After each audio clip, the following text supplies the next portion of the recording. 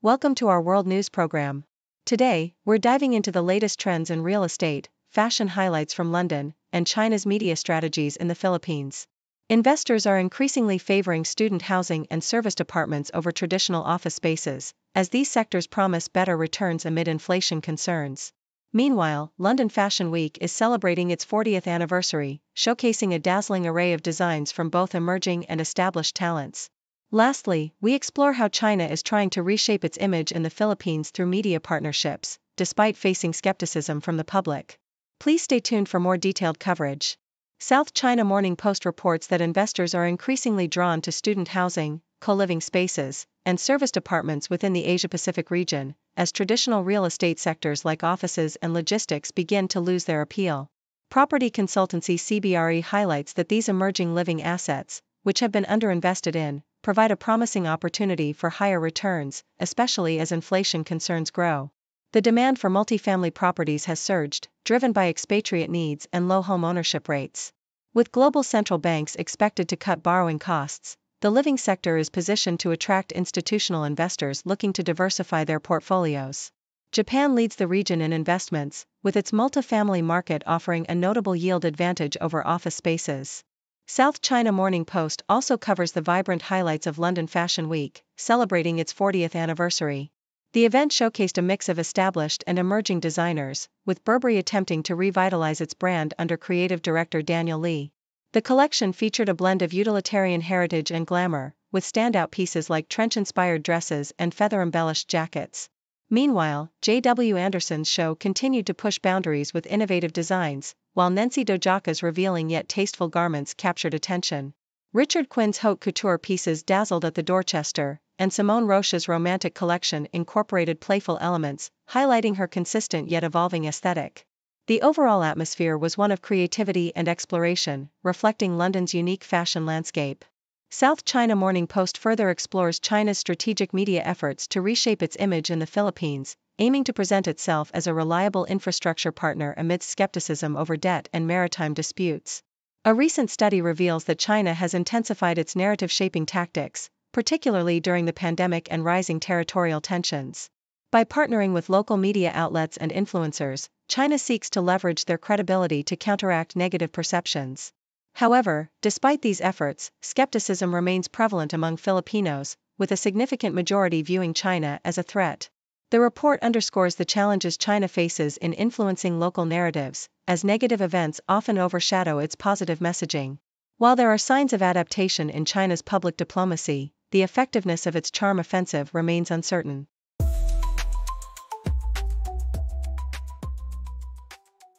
South China Morning Post reports on a recent documentary aired by Chinese state television that vividly illustrates a potential amphibious assault on Taiwan, coinciding with the People's Liberation Army's intensified training for such operations.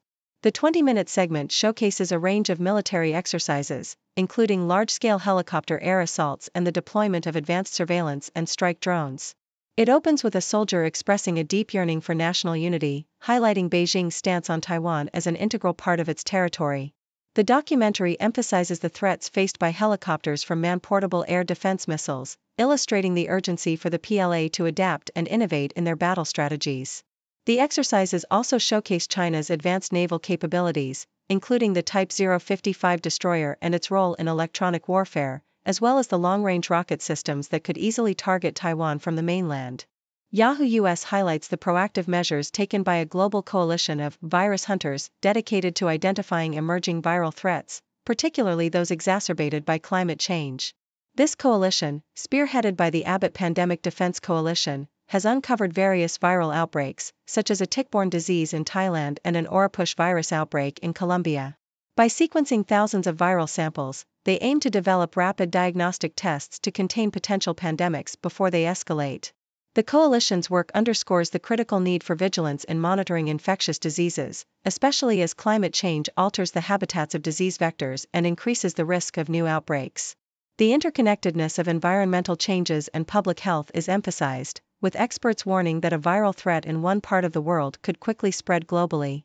Japan Times reveals that the Hong Kong government is on the verge of releasing its first policy statement on the application of artificial intelligence in the finance sector, this initiative, led by the Financial Services and Treasury Bureau, aims to establish a framework of guidelines focusing on the ethical use of AI and its integration into various financial practices, including trading and investment banking. Although the specific details of the policy are still being finalized, the move is seen as a significant step towards embracing AI technology in finance, reflecting a broader global trend as governments grapple with the implications and potential of AI. The anticipated guidelines are expected to enhance Hong Kong's position as a hub for innovative financial technologies, as officials gather industry feedback to shape the future of AI in the financial landscape.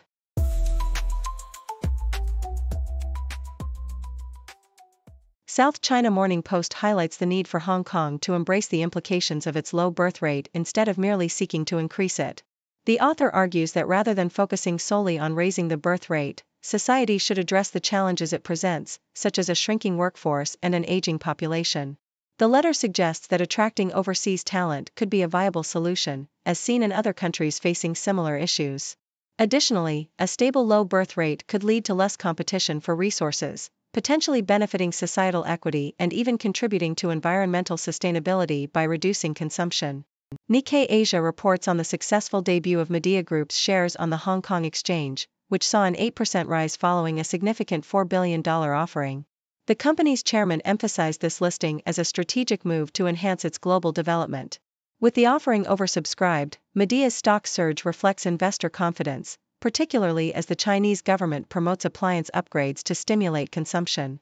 The report also notes that Midea's dual listing will facilitate access to foreign capital, especially amid rising tensions between the US and China, marking a significant step in the company's international expansion efforts. In another piece from South China Morning Post, the upcoming keynote address by Beijing's top diplomat in Hong Kong at the British Chamber of Commerce event signifies a shift towards greater engagement with the international business community. This marks the first time a central government representative will deliver a keynote speech at such an event, indicating a willingness to foster foreign relations and enhance Hong Kong's competitiveness. Analysts view this as a positive step to rebuild confidence among foreign investors and as part of a broader strategy to attract talent and investment, showcasing a pragmatic approach that separates economic interests from political tensions.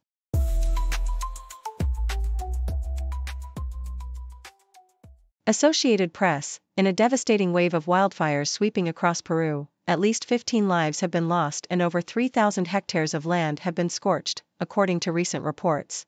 Prime Minister Gustavo Adrianzén revealed that human activity is to blame for igniting these fires, which are currently raging in 22 of the country's 24 regions. The situation has been exacerbated by challenging weather conditions, including smoke and strong winds that hinder firefighting efforts from the air. A civil defense report highlights that since July, 15 fatalities have occurred, with 98 individuals injured and more than 1,800 people affected by the disaster.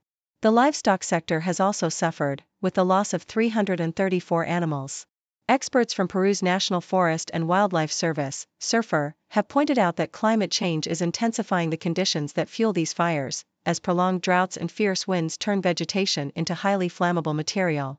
The Amazon region, bordering Ecuador, is facing some of the most severe fire challenges, as noted by Civil Defense Chief Juan Urcariegui. Thank you for tuning in. The content above showcases the latest briefing reports and analytical synopses, thoughtfully curated by the 6DO team. These insights stem from a wide array of reputable media outlets, think tanks, government sources, and specialized experts worldwide.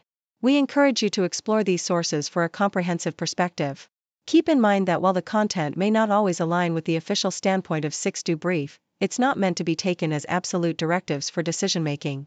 Comprising seasoned media professionals, learned scholars, and accomplished scientists, the 6DO team embodies a trailblazing, fully independent media entity.